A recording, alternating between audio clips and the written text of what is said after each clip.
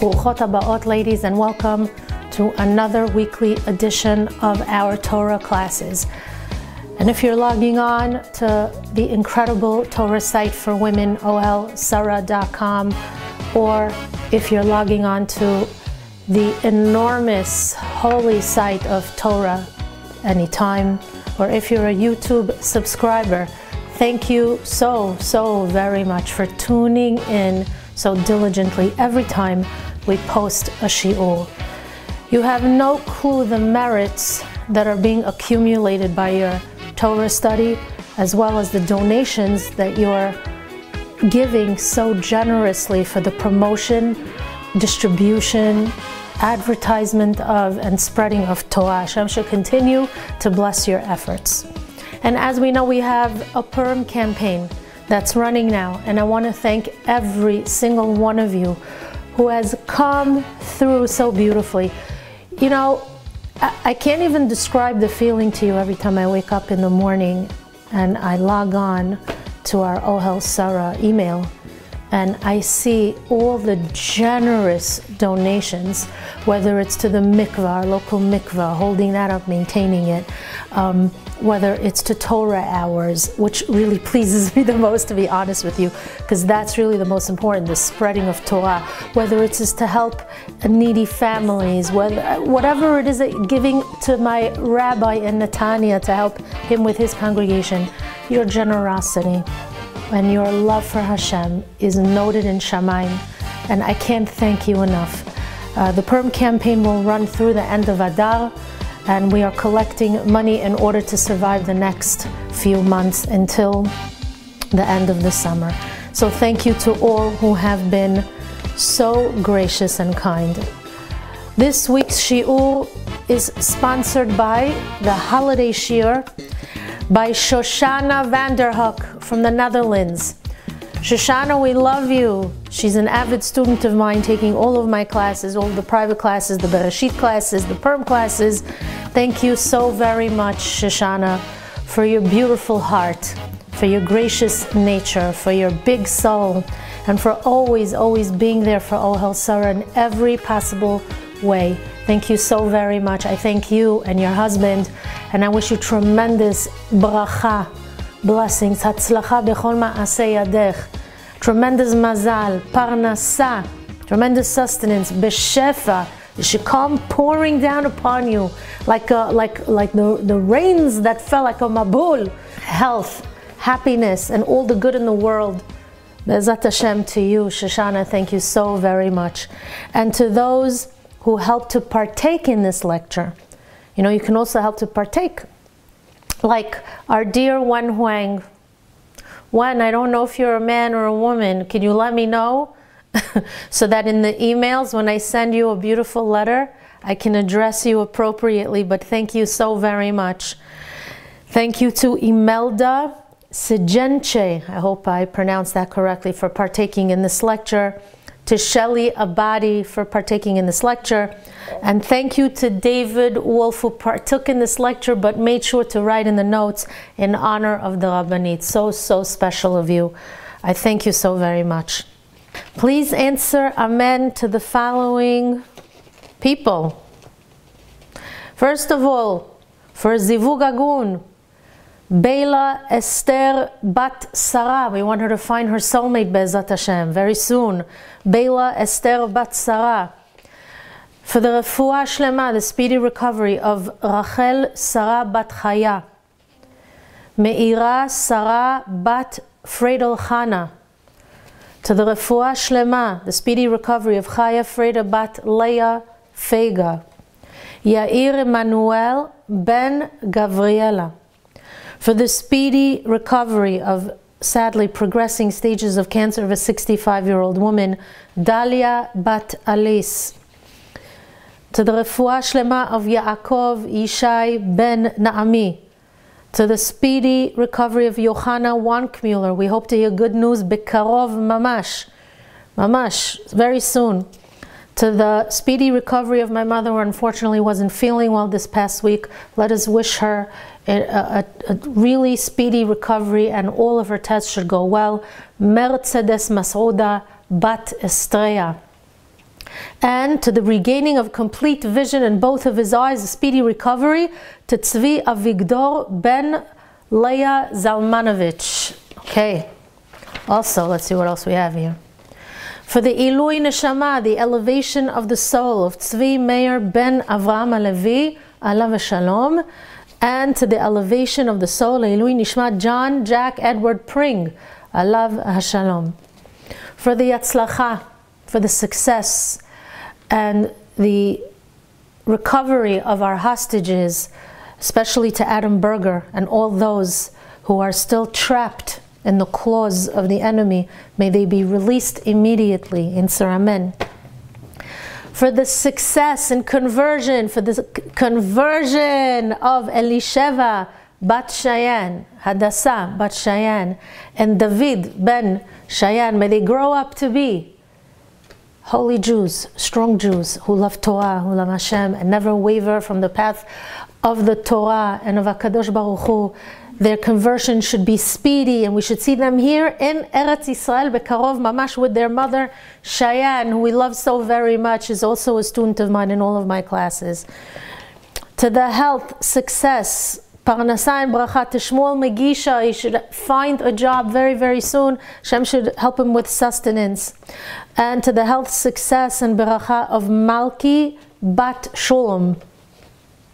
There was a special dedication today, uh, so beautiful, that read uh, that they, these people, uh, unfortunately, we deleted the email before we could write this down, but uh, so I forgot who it is, but such a beautiful dedication that says that the donation was made for Klal Israel, for the Jewish nation, that they should be together be'achdut, and for the uh, Aliyat Neshama, which means the elevation of the souls of all those who fell unfortunately during this entire war period. I want to thank those people who have donated to Torah Hours. Thank you to Moshe Palik, to Shelly Abadi, to Saadia Ramirez, Jack Pring, Shelly Krivulin.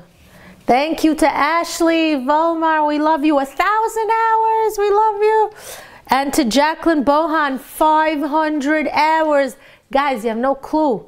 I love when you sponsor for Torah Hours because that means we keep going and we keep maintaining what we already have. And we could spread a lot more Torah. Thank you so very much. And thank you to those who donate and you don't have an email, whether you uh, whether it's by, by regular mail to our Brooklyn address in the United States or if it's through PayPal, but you weren't able to put an address. Thank you to Yelena Grinman, to Sigalit Amiri, and to the Carrera family, who I so much appreciate. They send us money every time with the most beautiful and inspiring letters to our Brooklyn address. Thank you so very much. And we grant anyone in the Carrera family who needs Yeshuot, any salvation and a refuah shlema and a speedy recovery, it should happen bekarov. This week's shiur is dedicated in honor of all the donors around the globe, including Shoshana Vanderhook and all those who partook in this lecture. All of you, all of you out there who have helped to support Ohel Sara, who have assisted in the promotion and the spreading of Torah throughout the world. May Hashem keep you safe from harm and protected. May you see His divine providence as clear as the light of day.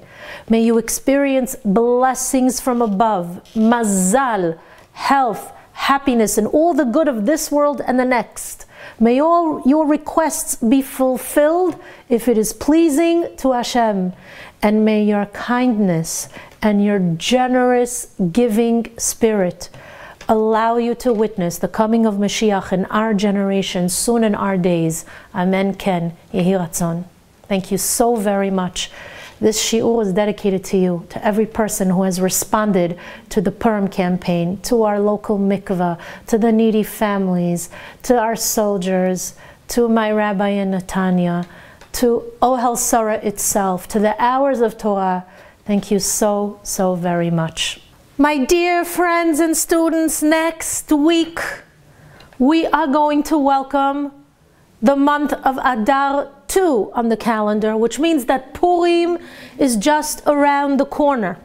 So, in honor of Purim, we are going to analyze some key points that appear in Megillat Esther so that we could appreciate the holiday and understand the mysteries behind the occurrences. The Rambam, Alav Shalom, Maimonides, in the laws of Megillah states something fascinating. Listen to his words. He says, Kol sifrei ha-nevi'im, all the books of the prophets, v'chol ha and all the scriptures, atidin lehibatel beyemot ha-mashiach, are destined to be nullified during the times of Mashiach. That means that all the books that we're familiar with, Sefer Yehoshua, Sefer Melachim, Sefer Shoftim, they are all going to be placed in Geniza. They're going to be put away.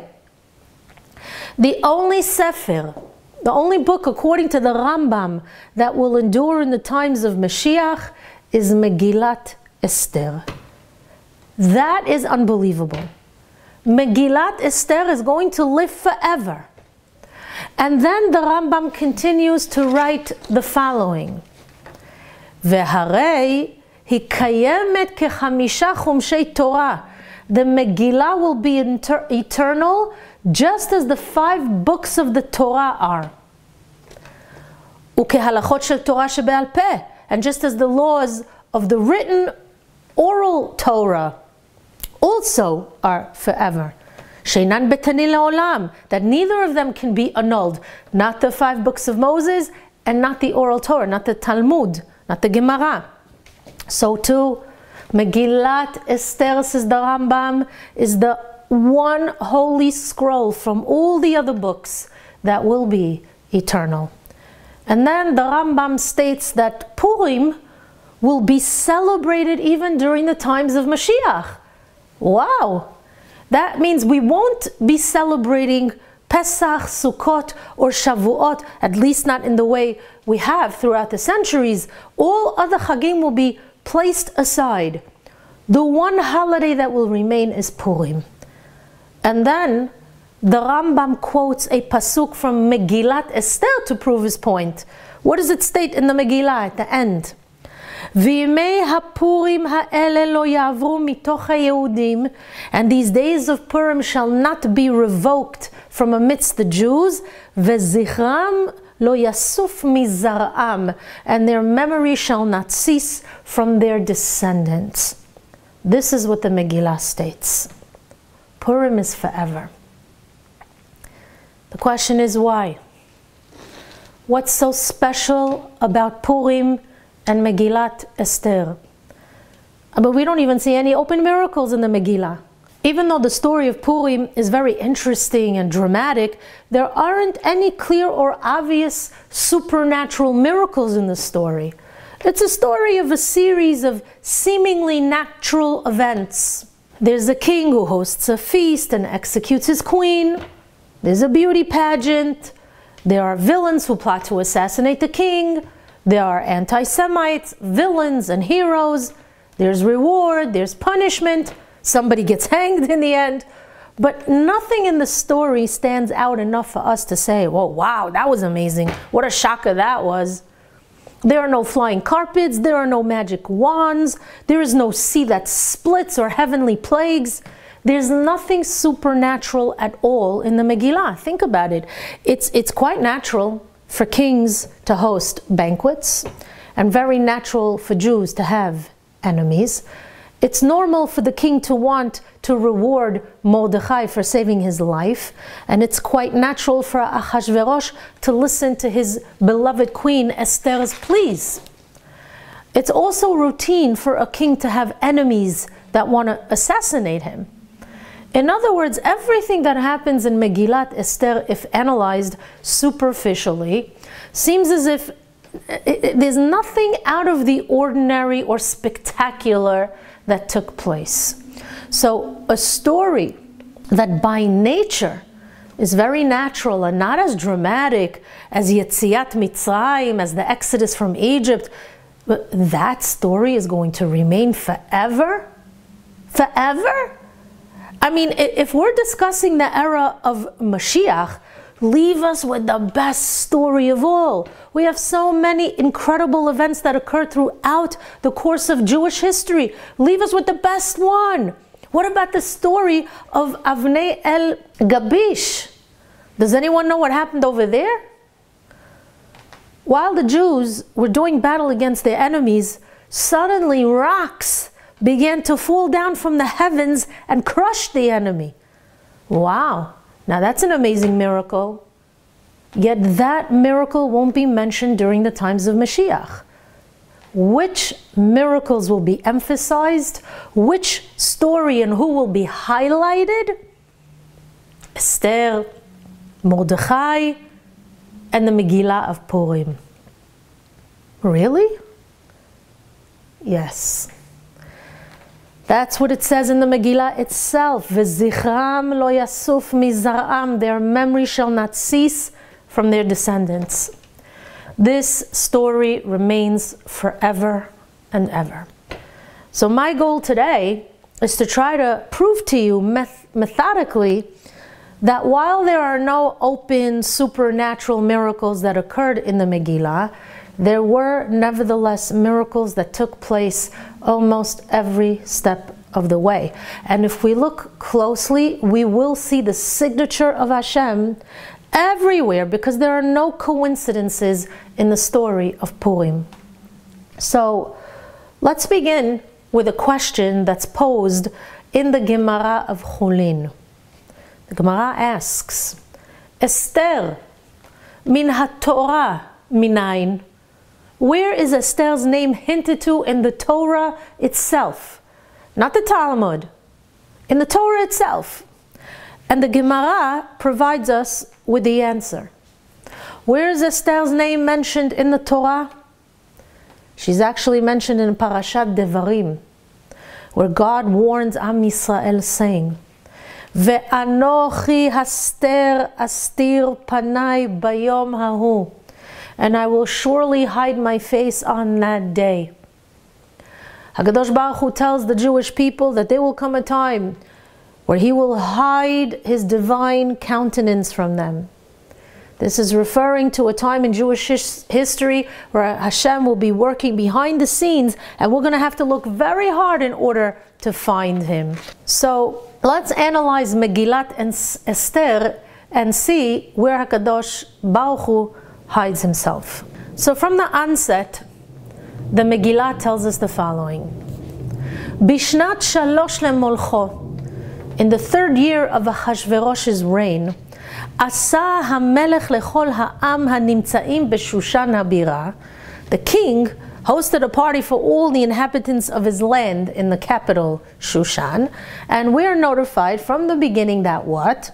Al kisem malchuto asher b'shushan habira that the throne of the kingdom was situated in Shushan, the capital.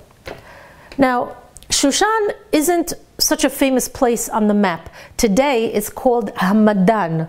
It's in Iran somewhere. Now, have we ever heard of that place? No. But it was once a very small village filled with Iranian fundamentalists that lived there. I don't know what's happening there today, but in any case, in the story of Purim, the real Persian capital was actually moved to Shushan. Why?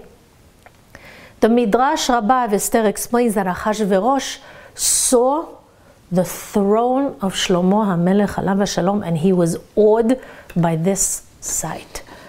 As some of you know, Shlomo HaMelech had a very unique and large throne that was animated, it was mechanical, it was quite an amazing throne to behold. So Ahashverosh hired the best carpenters and contractors to replicate the throne of the wisest man in the world and the greatest king of Israel, Shlomo.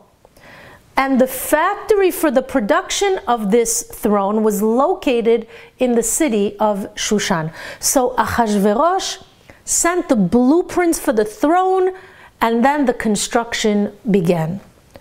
Three years later, the throne was finally completed and Ahasuerus requested that the throne be transported to where the capital was situated at that time.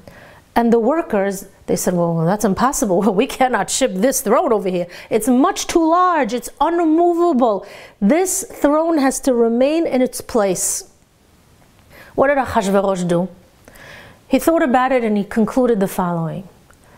If they can't bring the throne to me, I'll move to where the throne is. So he moved the entire capital to Shushan based on what? A chair. But uh, now I ask you, is that not the strangest political move you ever heard?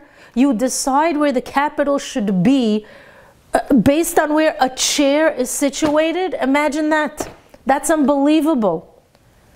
Why did that even have to happen? You know why? Because the Megillah tells us that Ish Yehudi Haya B'Shushan Habira. There was a Jewish man living in Shushan, the capital. Now everybody assumes that Achashverosh moved the entire capital to Shushan because of the throne. But that's not why he relocated. The throne was just the catalyst for the move. He was moved by God because Mordechai lived in Shushan. That's why Achashverosh had to be situated there. The entire story of Purim is dependent on Mordechai, one of the heroes of our story. So HaKadosh Baruch Hu shifted the entire world to revolve around Mordechai so that the story could take place in exactly the way Hashem wanted it to happen. And in order for God's plan to come to fruition, he put a ridiculous thought into Achashverosh's head to replicate Shlomo's throne. And it just happened to be that the men who manufactured such a throne lived in Shushan, and suddenly they decided that they couldn't ship the throne. And then Achashverosh is stuck having to, to relocate the capital to where the throne is, which is Shushan. Now we're reading this, and we know this is all God's doing. Now, is this an open miracle? You know, but it is a miracle nonetheless. It's a miracle of occurrence, and it's one of the first dominoes that Hashem puts on the Purim chart. After that, Achashverosh decided to host an elaborate banquet. Now, the Gemara of Megillah tells us that Achashverosh was a Melech Pikeach. He was a smart king. And the Gemara proves it by stating that the party, he held it in Shushan. Why was that a smart move on the part of Achashverosh? Because if a rebellion would ever take place, it would most likely occur in Shushan, in the capital. Why? Because there were people living near the palace. So it would be easy for them to rebel and overthrow the kingdom of Achashverosh. So Achashverosh decided to soften the hearts of the people by hosting this extravagant feast in Shushan. So he turned himself into the most benevolent king in the history by inviting every person in Shushan, rich or poor, from the lower class to the elite of his capital. They all attended the party. And he allowed anything and everything to take place at this party, if you know what I mean. Now, it was at this seven day banquet that Achashverosh did one of the most foolish things that a king could ever do. He summoned his wife to appear in front of all the guests wearing her crown and only her crown. Are you serious? You're a king who's supposed to maintain the dignity of the queen, and you summon her to appear before the commoners of Shushan in the most undignified manner? Now, if you think about it, besides Vashti, his queen, the one who'd be shamed would be Achashverosh himself because he's the king. He'd be embarrassing himself. What a tipesh, what a fool you are. You're getting drunk and this is how you treat the queen of Shushan? By making a mockery of her? So Achashverosh had this insane moment. And remember, that if this ludicrous idea would not have entered his mind, there would be no Purim story. Esther would not have been chosen queen. We'd have to close the book and begin our Pesach preparations. So this crazy idea of Achashverosh was the next domino that was placed on the Purim chart. Again, is this an open miracle? No. But if you think about it, it's very rare that something like this should occur. Now, interestingly, the Gaon of Vilna, Alav Shalom, writes that Vashti, she had no problem showing up uh, to the banquet in her birthday suit because she wasn't the most modest woman to begin with. So why does the Megillah tell us that not only didn't she make an appearance, she was appalled by the idea? The pasuk states quite clearly. Listen to the words: "Vatema'en hamalka Vashti lavo," and the queen Vashti refused to come. And by the way, uh, uh, over the word "vatema'en," there's a, a, a little like symbol that makes us understand that the way you're supposed to say it, in other words, like as if she refused quite a number of times. It wasn't just once. So the Gaon of Vilna says that when you read this pasuk, you have to place the emphasis on the right word. You see, if it were up to Vashti herself, says lavo to come, she would have made a grand appearance. But what? It says vatema'en hamalka only because she suddenly held herself as Hamalka, as the queen, that she refused to attend. She decided it wouldn't be appropriate for her to appear this way. Before that day, she may not have cared so much. Vashti lavo. Vashti herself, she would have come. But all of a sudden, that day, she decided to take her royal lineage into consideration. Had it not been for this sudden shift, she would have appeared. And once again, there would be no Purim story and certainly no Esther. So it was Hashem who put the idea of modesty and majesty into the mind of Vashti to be dignified and not to appear before Achashverosh and to be in direct contempt of the king's command. So we see how God was once again placing the dominoes into effect. And remember that if any of these events don't take place, there is no Purim. If, if, if there was no throne constructed in Shushan, if Achashverosh would not have hosted a banquet over there, if Vashti would have appeared at the banquet, there would be no Purim. So Hashem was setting up occurrence after occurrence so that the slight push of the domino will cause everything to fall into proper place. Anyhow, after Achashverosh was told that Vashti was not going to appear, he summoned his court. The pasuk says, "Vayomer Hamelech lachachamim yodei ha'itim," and the king said to the wise men who knew the times. Uh, in other words, he convened his court to address this humili- humiliating incident of the queen not coming. Now, you tell me, does this case even necessitate a court? This is a no-brainer. Think about it. Ahasuerus was drunk. He wasn't playing with a full deck. Uh, he asked his wife, the queen of Persia, to appear in the most immodest way in front of all these commoners. She's the innocent party in all of this. He's the guilty one. Why would he need to even summon a court? Ahasuerus should have woken up the next day and said, Oh, uh, I think I was so drunk, I don't remember anything. What happened last night? Did I do anything stupid? Did I embarrass myself? Instead, he did something outrageous. He summoned a court to decide Vashti's fate. Now, Chachamim tell us that deep down he had no intentions of killing Vashti. In his heart, he really did want to forgive her. So, if he had no intentions of executing her, why would he summon the court? Do you realize how significant it is that he called this court to session? If he would have done what's normal, which is to let Vashti go, the story of Purim would end right there. Because it was in that courtroom that Haman stood up and offered his famous advice to the king, which was kill the queen. If Achashverosh would not have summoned the court, Haman would have never offered this advice. So do you see what HaKadosh Baruch Hu is doing? He's writing the script. Enter Achashverosh, summon a court, Haman speaks, etc. Not only that, but Chachamim inform us that Haman was the least important judge in the, in the entire court.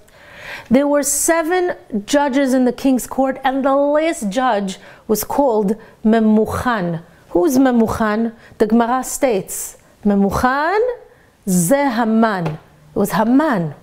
So after six important judges announced Vashti's innocence, this insignificant judge, Haman, stood up and says, No, she's guilty, kill her.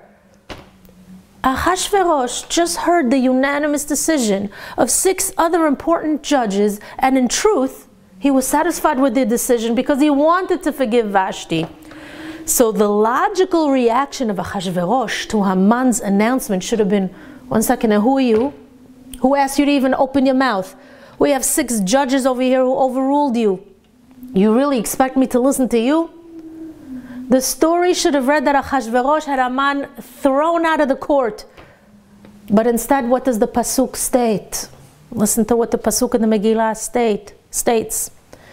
Vayitav hadavar be'enei hamelech and the matter was pleasing in the eyes of the king. Well, what just happened? Six judges told him, no, she's innocent. Achashverosh himself didn't want to kill Vashti. And all of a sudden, because of Haman's outrageous outburst to kill the queen, he agreed? But more than this, what should have been the reaction of the other six judges after Haman's announcement? They should have been extremely offended. Usually in the secular world, when, when someone of great stature is, is, is contradicted, he's offended. The other six judges should have resented Haman. Instead, the pasuk reads, "Vayitav hadavar bene hamelech." It was pleasing in the eyes of the king, vehasarim, and his other advisors. They changed their minds and they decided Haman's ruling was proper. That's why Achashverosh listened to Haman. So here we have another domino being placed because Vashti has to be removed in order for Esther to be proclaimed as the new queen. So in order to facilitate this new reality, HaKadosh Baruch Hu made many interesting moves. Let's proceed further in the Megillah. Achashverosh realized he needs a queen. So who did he speak to about how to proceed? You're not going to believe it. The pasuk is a shocking one.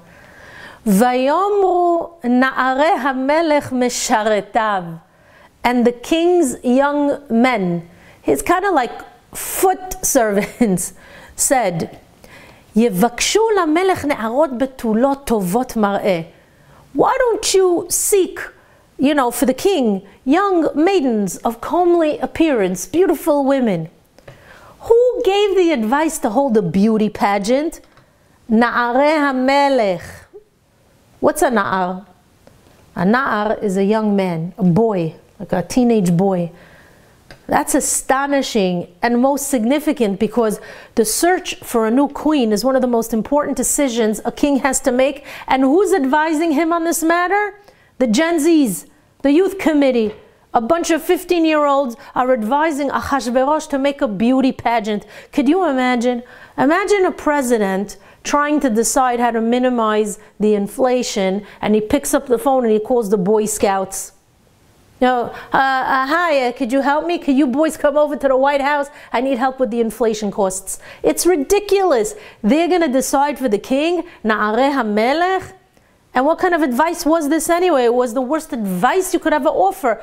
Go and take every maiden in the various regions of the country and other lands and bring them all to, to, to Shushan and let's have a beauty pageant. Are you crazy? This is how you find a suitable wife for the king?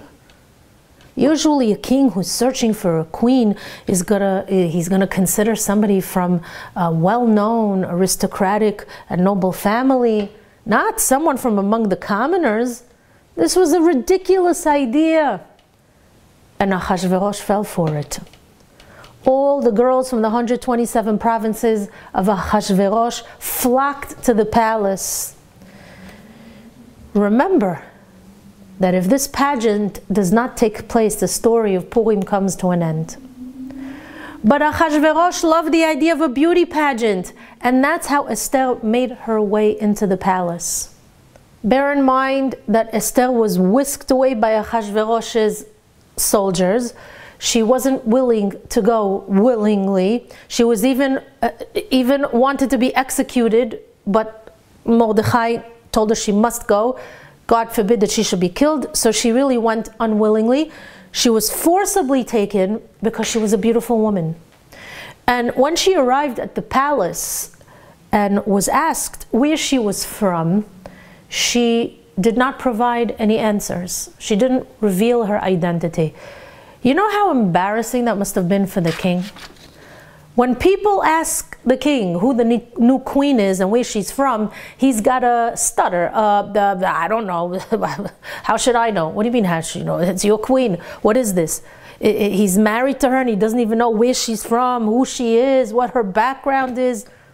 Achashverosh is married to a woman that won't tell him where she's from. Ah, he's loving it. The crazier it sounds, the more he likes it. And none of this makes any sense because he's a king. He's supposed to care uh, uh, about these things, at least from the perspective of his own safety and national security. Who it is that you who is it that you're marrying exactly? So I ask you, is that not Hashem in the picture? Especially since Esther did everything possible to try and dissolve this union. But the harder she tried, the more Achashverosh took interest in her. This is indeed the hand of Hashem. Is it an open miracle? No. But it's another domino that we could add to the story. Hashem wanted Esther to be queen. So HaKadosh Baruch Hu orchestrated the most bizarre circumstances in order to secure the story of Purim. Again, there's, there's nothing seemingly supernatural taking place over here, but it's all miraculous. So let's move on to the story of Bigtan and Teresh. These two courtiers join forces in order to assassinate the king. Now, a serious conversation such as this requires some form of discretion, no? Of course. But if we read the Megillah, we see that Bigtan and Teresh were plotting the assassination of the king. And where were they speaking about it? Bishar HaMelech, right in the courtyard of the king. We see that they had no shame to speak in public about it because Mordechai was sitting right over there. How did they do such a thing? What was their logic? What, what, did they think when they saw Mordechai sitting over there? You know what they said to themselves? Eh, this guy probably doesn't know our language. We're speaking in a language that barely anybody knows, so we can uh, now talk about the assassination of the king. He doesn't know what we're talking about. That's ridiculous because everybody knew who Mordechai was. He was a rabbi that sat on the Sanhedrin and knew 70 different languages. But in our story over here, these two dunce cups plot to kill the king, knowing that Mordechai, the rabbi of the Jewish people, is overhearing their discussion. And of course, what happens, what happens immediately afterwards? Mordechai runs to Esther and warns her to inform the king. Esther approaches Achashverosh. But guess what? This is the only time in her life that she does not follow Mordechai's instructions to the T. Otherwise, all other times she was very obedient. But in our case over here, she does something different. She tells the king about the assassination plot, but she adds the following words. She says, Oh, by the way, a man named Mordechai, some Jew, told me about it. Mordechai did not tell her to mention his name, but she, all on her own, decided to do that. Now, if she does not tell Achashverosh the name of the man who saved his life, that complicates the Purim story. The king would have assumed that it was Esther who saved his life, and Mordechai would not have been written in his book of special deeds, nor would he have been rewarded, and the rest of the story wouldn't have taken place as it did. Is this not a significant part of the story? Of course it is. Now, interestingly, from Esther's words, the fact that she added these words, the Chachamim made a ruling in the Gemara of Megillah. What's the ruling? Kol ha'omer davar b'shem omro. Anyone who repeats something in the name of the one who he heard it from, mevi ge'ula la'olam, brings about the redemption to the entire world. You hear this? If you repeat a Torah thought in the name of the person who you heard it from, you can bring about the salvation to the entire world. Why? Well, think of Esther. She was willing to take no credit at all for herself. And instead, she gave it all to Mordechai, who deserved it. And that's what helped to facilitate the salvation of Purim. But the point is that we once again see Hashem in the picture. Now, I also want to point out that Mordechai should have been rewarded immediately after that, since he was the hero who saved the king's life. Logic would tell us that the very next morning, after the assassination plot was foiled, Achashverosh should have invited Mordechai to the palace and awarded him accordingly. But that's not what happens in the Megillah. Achashverosh requests that Mordechai's name should be written in the special book of deeds, and he continues his day as though nothing happened. Now, wait a second here. The man just saved your life for crying out loud. Reward him. But Achashverosh does not do that. That's unusual. In most normal circumstances, a king immediately rewards those who saved his life. You know why? Because if the reward does not come instantly, nobody in the kingdom will have the incentive to save the king's life. Who'd want to go out on a limb for the king if he doesn't even get a thank you? So that wasn't exactly the smartest move on the part of Achashverosh. But who's masterminding the entire story? Hashem. Hashem is controlling the king's mind and he's planting this idea in his mind not to reward Mordechai immediately. Why? Because if the king rewards him now, there's no Purim story. There's no domino effect. How so? Because the story continues.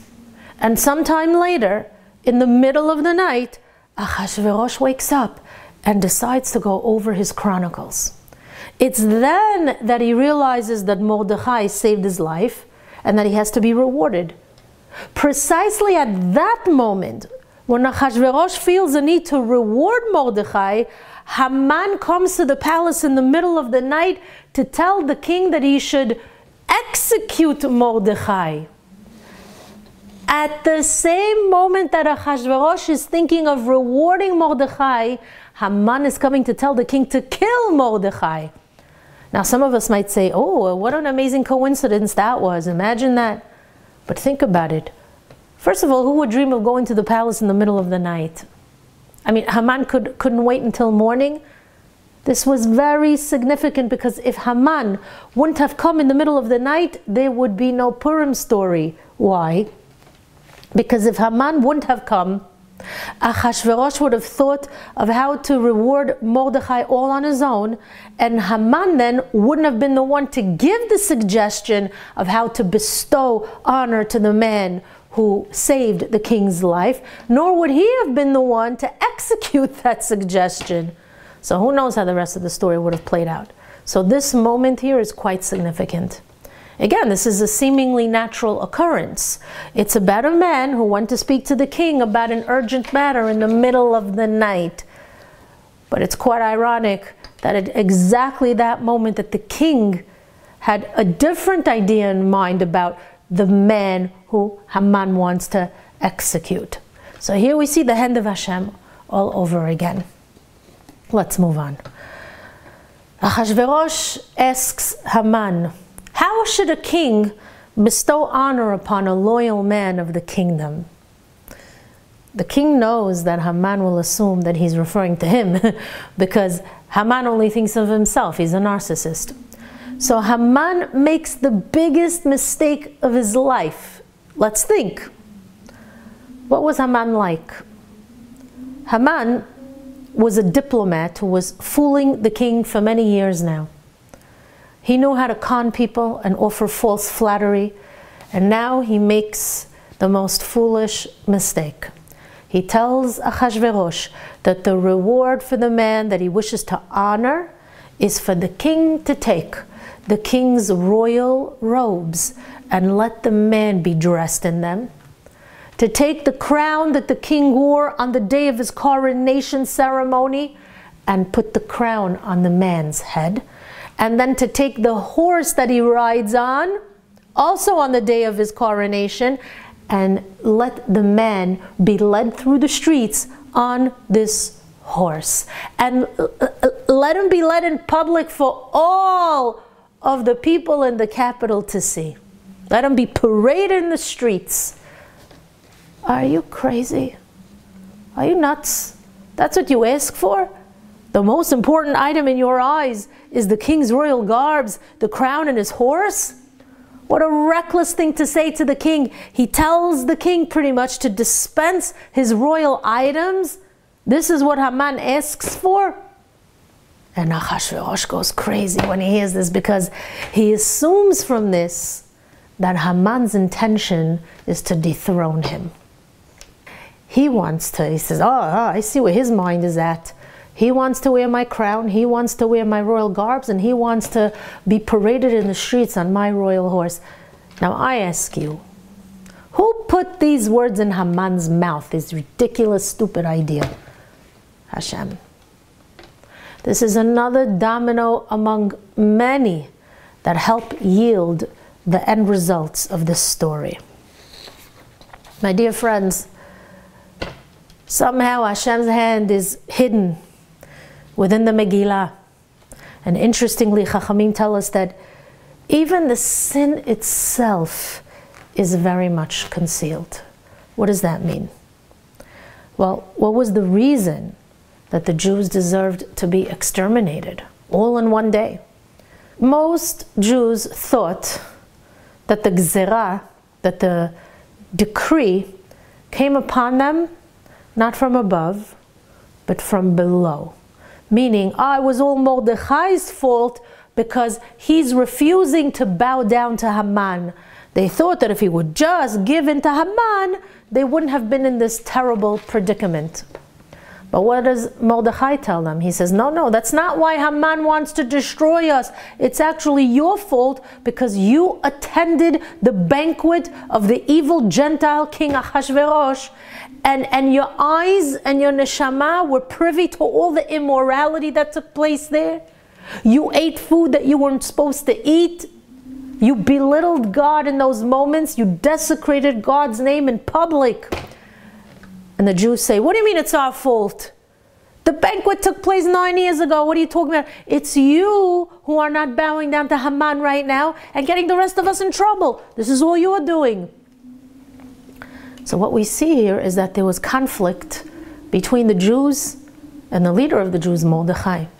So, how did Mordechai manage to convince them that it was really their fault? The Ponevezher Rav Alav Shalom explained that when you approach someone with some kind of rebuke, and you do so in a brotherly fashion, in most cases that person will listen. When a person feels and he knows that the musar, that the rebuke is coming from someone who really cares about him, he's more inclined to heed the rebuke. Well, Mordechai was surprisingly able to make an impression on the people of that generation, despite the fact that they initially blamed him for the tragedies that befell them, because the Megillah tells us that he was Doresh Tov Lechol Amo. He sought good for his people, for his nation. So he succeeded in influencing the people because when he gave the Musar, when he rebuked the Jews, they felt it was with the intention of helping his fellow brothers. So when the Jews felt that Mordechai was coming from a place of care and concern, when they sensed that he was Doresh Tov Le'amo, that he only wanted the good of the nation, they accepted the reproach about them that they attended Achashverosh's party and they engaged in all kinds of uh, immoral acts and they ate food that they weren't supposed to and they did teshuvah, they repented. So at this point, I want to go back to the original question that we started with. Why is it that during the times of Mashiach, this is the only story that will merit to last forever? My dear friends and students, we live in a very confusing world. We live, in a, we live in a world that's difficult to decipher and to explain, especially these days. Many of us have questions about how Hashem runs His world. We want to understand so that we can strengthen our faith all the more. And life becomes even more perplexing when we try to make sense of our own lives and all the challenges that we face and every occurrence that takes place in our life. We also try to make sense of all the other occurrences that surround us, whether in the world, in our families, whether it concerns our friends, our neighbors, people in the community. And, and some of the occurrences that happened or happen to other people affect us directly because if we care about these people, it will affect us. We are constantly trying to figure out why certain things happen. And we don't always have answers to the questions of our life or the life of someone that we know. We're learning to live day by day, especially in these days that are so uncertain. But when Mashiach comes, HaKadosh Baruch Hu will sit us down kiviyachol, as if, and he'll explain to each person his destiny according to everything that transpired from the beginning of time until that very moment. He's going to show him how everything that happened had a purpose and how each occurrence of his life his life was building on the next occurrence after that. Hashem is going to demonstrate how each occurrence was like a domino and how it had to take place in exactly the manner that it did. Each situation was planned and set up for the next occurrence, for the ultimate master plan to finally come to fruition. And Hashem is not only going to show you your life, but also the life of those around you. It's then that you're going to understand that everything that you questioned was indeed merciful and just. You're going to understand why other people had to go through what they did and, and, and how that had to affect your life and why. Everything is going to be clear in this massive puzzle of life Hashem is going to start putting all the pieces of the puzzle on the board, and you're going to watch in amazement and say, Oh, oh, oh, that's why that happened. Wow, I never realized that. And then you're going to say the words stated in Sefer Devarim. Hatzur Tamim Pa'alo, the deeds of the mighty, that's the mighty rock, that's Hashem, are perfect. His deeds are perfect. Kichol derachav mishpat, for all his ways are just. Kel emuna, God is a faithful God. Ve'en avel, He's without injustice. Tzaddik ve'yasharhu, God is righteous and He's upright. You will say, God, I finally understand. You're going to be so excited and so amazed that you're going to want to celebrate. The celebration during the times of Mashiach is going to be a celebration of natural occurrences. It's going to be the celebration of finally understanding your life in the world around you. And what better book to bring out that point than the book, the scroll that celebrates natural occurrences and how even that which seems ordinary is really predestined and planned. What better sefer than Megillat Esther? That's going to be the book of the ages because everyone is going to be celebrating their own personal Megillah. You know, the Megillah, if you go through it, is a story of about 15 different strange happenings, and each one appears unrelated to the next, but very much connected to the end result. And if you read the Megillah with that perspective, the only thing you could say is, wow, wow, look how Hashem made that happen. Look how one thing leads into the next so perfectly. It's like an orchestra playing in sync and creating the most beautiful music. There is not one mistake in a beautiful melody when you have such a perfect conductor. My dear friends, this is the Mishloach Manot, the care package of Megillat Esther. Everything in this story that seems so natural is ultimately handed to you in a neatly wrapped package. So, you know what we're going to be celebrating during the times of Mashiach? Everyone's personal Megillat Esther. It's going to be about the story of your life. Korot Chayecha. It's going to be the interpretation and the explanation of how everything in your life happened and why it had to happen. You know, many times in Megillat Esther, you're going to see the word HaMelech, which means the king. The one and only true king is God. HaMelech, the king, is Hashem.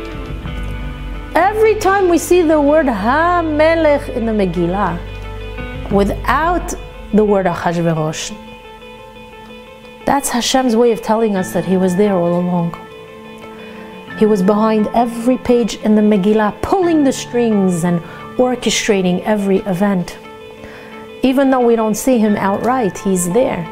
He was there incognito. This is something Shlomo HaMelech alav Shalom teaches us in Shir HaShirim, where he states, Hine ze omed achar kotlenu. Behold, he, God, is standing behind our wall. Mashgiach min hachalonot. He's supervising from the windows.